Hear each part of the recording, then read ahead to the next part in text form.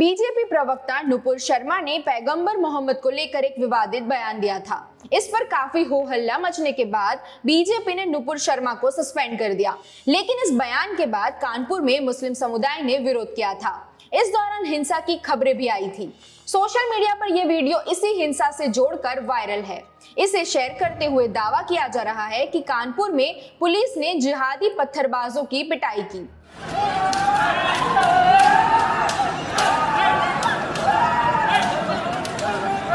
ये वीडियो इसी दावे के साथ हिंदू युवा वाहिनी गुजरात प्रदेश के प्रभारी योगी देवनाथ ने ट्वीट किया था। साथ ही और भी कई ट्विटर यूज़र्स ने इसे कानपुर हिंसा से जोड़कर शेयर किया। यहाँ तक कि दैनिक भास्कर ने भी इसे कानपुर का बताया। फेसबुक पर भी ये वीडियो इसी दावे के साथ वायरल है। तो क्या वाकई में ये वीडियो हाल में कानपुर में हुई हिंसा से जुड़ा है? ऑल न्यूज़ ने फैक्ट चेक करते हुए पाया कि यह वीडियो पुराना है और इसका हाल की घटना से कोई संबंध नहीं है। वीडियो के फ्रेम को यांडेक्स पर रिवर्स इमेज सर्च करने पर हमें 28 मार्च 2020 को यूट्यूब पर अपलोड किया गया ये वीडियो मिला। वीडियो के साथ बताया गया है कि ये मुमरा के कौसा की घटना है। यूट्यूब चैनल हिंदुस्तानी रिपोर्टर ने इस पूरी घटना के बारे में ये बताया। तीन दिन पहले ही कौसा के श्रीलंका परिसर में राष्ट्रवादी कांग्रेस पार्टी से जुड़े दो नगर सेवकों के दो गुटों के बीच में झड़प हुई थी।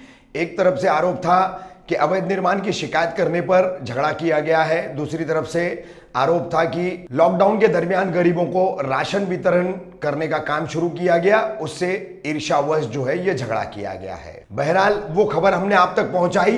दोनों पक्षों की बातें भी आपके सामने उस खबर में रखी। वहीं कल 27 मार्च, शुक्रवार को रात ग्यारह, साढ़े ग्यारह बजे, इन दोनों गुटों के बीच में फिर एक बार झड़प हुई, जिसमें दोनों तरफ़ से एक एक लोग घायल है और दोनों अस्पताल में भर्ती हैं। वहीं ये झड़प कैसे हुई, उसके बाद जो है, रशीद कंपाउंड, श्रीलंका इस पूरे परिसर में अक्सर सड़कों पर गलियों में घूमने वाले जो लोग थे, तमाशबीन बने खड़े थे, उन्हें पुलिस के डंडे का कैसा मज़ा चखना पड़ा, उसके तमाम सारे वीडियोज़ झड़प से लेकर के यहाँ तक के। पत्रिका ने अप्रैल 2020 में इस वीडियो की असलियत बताते हुए ये फैक्ट चेक रिपोर्ट पब्लिश की थी। आर्टिकल में मुमरा पुलिस के हवाले से बताया गया है कि मुमरा के कौसा श्रीलंका एरिया में दो गुटों के बीच विवाद हुआ था, जिसके बाद पुलिस ने भीड़ को हटाने के लिए लाठीचार्ज किया था, और ये उसी का वीडियो है। तो जैसा कि आपने फैक्ट चेक में देखा, इस वीडियो का हाल में कानपुर में हुई हिंसा से कोई लेना देना नहीं है।